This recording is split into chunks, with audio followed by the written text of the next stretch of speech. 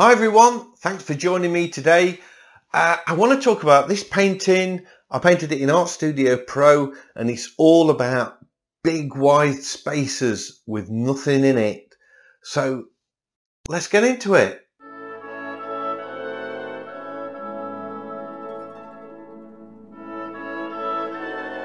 This painting's in Art Studio Pro. I've got a canvas size of 6000 by 4500 pixels, 300 dpi. So it's a good size.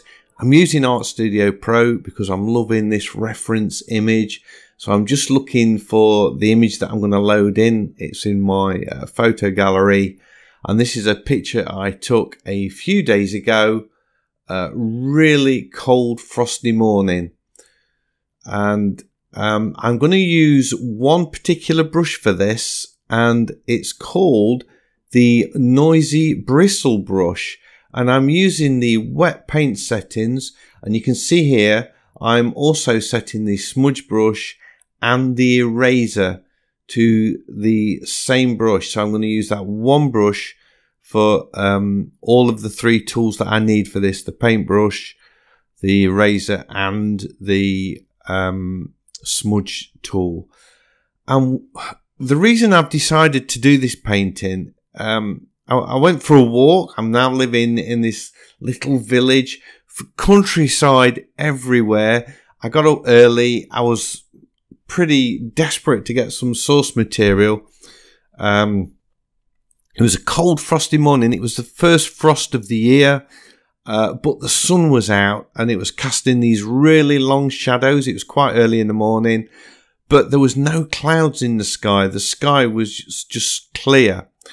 And you can see in this photo, I've sort of exposed it for the trees. So the sky is all burnt out. And the reason I'm doing this photo, uh, sorry, the reason I'm doing this painting, I thought it would be a good idea to show you that you do not have to fill every inch of your canvas with detail. You, it's all right to have empty space. So uh, when I'm talking about detail, I, you know, I don't put detail in pictures much anyway. It's always leaning towards the um, impressionist side of things rather than detail. But so what I'm talking about here is just actual big blank areas of space with nothing in it at all except a little colour. So the sky that I've put in, uh, we've got the light source coming from the right so we've got this warmer colour over the right hand side of the uh, canvas, and then to the left we've got this uh, blue, but they are very pale colours because I wanted to give the impression that it was a misty, cold morning. It's still not winter yet. It's it's only autumn, so we've still got lots of leaves on the trees, and some of them are still quite green. They're not all turned to brown but there was this lovely crisp frost, and that was the effect I was trying to get. So I just overlaid a few colours, selecting off the HSL colour sliders, and I sort of put a blue in and a, a pink and uh, a warm yellow, and just overlaid those colours. And I kept this uh, noisy bristle brush really big for that. And what I discovered as I was using the brush was that um, the more paint you put on and the, the bigger the size of the brush, it starts to, if you just put a very light pressure on it, it really does sort of blend those colours together. But if you press on hard, you get a much more bristly effect, like you've got this sort of hard bristles that are scratching the surface. So a very sophisticated brush, really, that allows you to do uh, lots of different effects so uh, another brush that's well worth giving a go. I recommend you uh, try it out. The Noisy Bristle Brush. Um, I put in these distant trees and you can see I'm using real uh, soft pastel colours and it almost looks like a pastel actually and I've got some lime greens in there and purples and blues but I begin with I actually put on sort of all of the uh, a soft blue first, and I went in and put some uh, lime green colours in and then some purple. So I built the, the colours up layer on layer, but all on one layer. I didn't um, create a second layer. This painting, by the way, is all produced on one layer. No uh, multiple layers going off here. It's just uh, just the one. So I'm not um, using it to create extra shadows and things like that. This is, I do think this is a very painterly looking picture and it might be one that I do on my new channel where I'm, uh, so shameless plug here, where I'm doing traditional painting. If you haven't checked it out yet, get along there and have a look because I'm sort of reproducing my favorite paintings that I've done digitally uh, with traditional paint. So uh, I've done a couple so far. Uh, so uh, if you're not had a look, just pop along there and um, don't forget to subscribe and click the bell button so you get informed of uh, whenever I release new videos and all of that stuff and, and like it and share it and uh, you know just help me sort of um, launch the channel really and do the same for this video as well please. Uh, don't forget to ding that um, uh, ding the bell. Tick the bell so you are informed of uh, all the videos that I'm making because I'm doing lot I'm up in the game I'm doing lots of digital work um, doing lots of these testing out different brushes and if you want to see all of them uh, just uh, click the the bell and subscribe so you don't miss anything. Anyway back to this painting. Um, I'm now putting in the this sort of light green in the trees. Same brush again, just adjusted the size down to about three quarters. And you can see I'm using my finger there to select the colour off of the sky just to cut into that tree a little bit. Uh, I, I, thanks for all the input about putting the um, the the video at the side of the painting where you can actually see my hand. Uh, everybody, I think, said I got a lot of responses to that video, and everybody was saying, uh, "Please put the uh, keep that in uh, as a." a feature you like it so i'm going to do that i can't do it in every video though because sometimes i'm sat on the uh, my uh, couch um, chilling out on a Sunday afternoon, and I think, oh just do a drawing and I pick the iPad up and um, I'll produce something. So unfortunately, it's a bit too much hassle to getting a video camera and sort of setting it up so you can see me. And so those videos, uh, I won't be able to do that. But whenever I'm painting in the studio, uh, I will put this um, thumbnail video in the side. What I've actually done, I've uh, made it a little bit bigger and tilted it slightly so um, it's in line with the painting. I thought that was sort of a better format. So I hope you like that.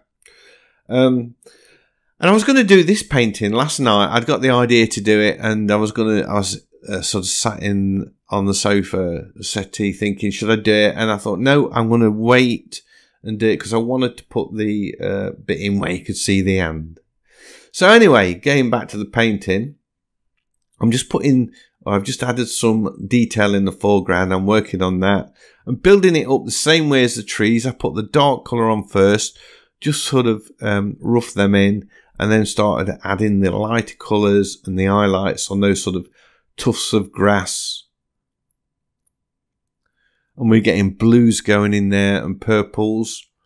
Because although it is a very soft painting, um, I felt that there was still lots of opportunity to put lots of colour in there. So you'll see uh, I'm putting purples in now. Then a bit later on, I'm going to go into it with some blues and some yellows. So a real sort of building up of colour, but very soft colours, grayed off colours, not in your face bright colours really, but they all add to the effect where I'm still getting plenty of colour in the painting, but it feels cold and um, gentle. It's not in your face.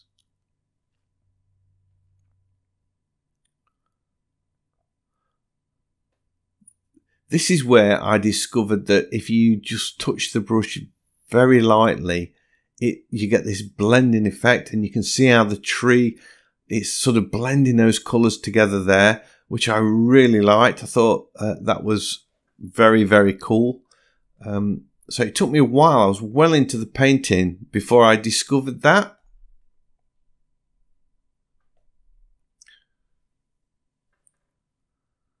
Working on the um, the ground. I'm just sort of putting in a light colour. I wanted to make it to get these sort of ridges of light in the foreground or the middle ground, I should say, just in front of those trees. So I've sort of just uh, lightened up the colour of that a little bit. And then still, then I, I, I felt I, I, wanted some warmer colours in there as well. So I go in with this sort of uh, orangey brown, a bit like burnt sienna, I suppose.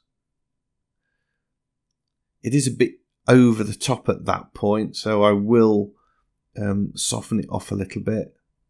And I and then I found out that I could get this sort of blending effect with the sky where you're almost uh, using a dry brush to blend the colours.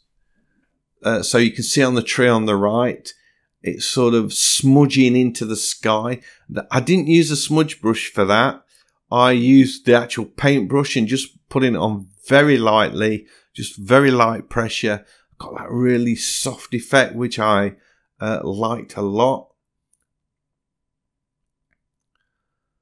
So I'm just experimenting with colour, putting a little bit of blue into the ground.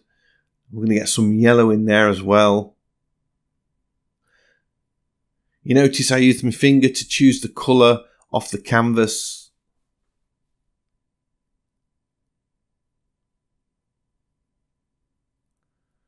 Putting some deeper tones into that tree just to soften off that um, brown a little bit. Then I had a little bit of an experiment of trying to put some highlights in the tree um, where the, the branches were thinner and you could see the sky. I created a new layer for that. I didn't like it, so I deleted the layer and then started working on the um, just the one layer, cutting in these lighter tones, which again I wasn't a massive fan of.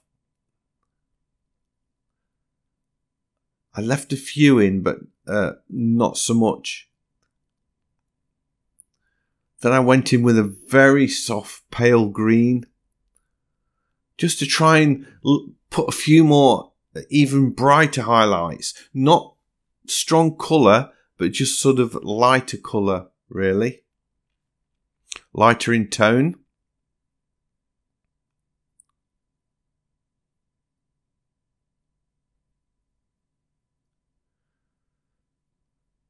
Spending a lot of time on the tree, just sort of put. It looks like I'm um, putting marks here, there, and everywhere quite willy nilly. And the actual fact, I'm really thinking about what I'm doing. I then go in with this blue color. Oh, and then I use the eraser uh, a bit heavy there, so I sort of undid it and uh, knocked back the opacity a little bit just to lift out some highlights where the uh, frost was really white on the ground. Get it signed, and there we go. My uh, misty, cold, well, actually, cold, crisp, frosty morning painted with the noisy bristle brush in Art Studio Pro.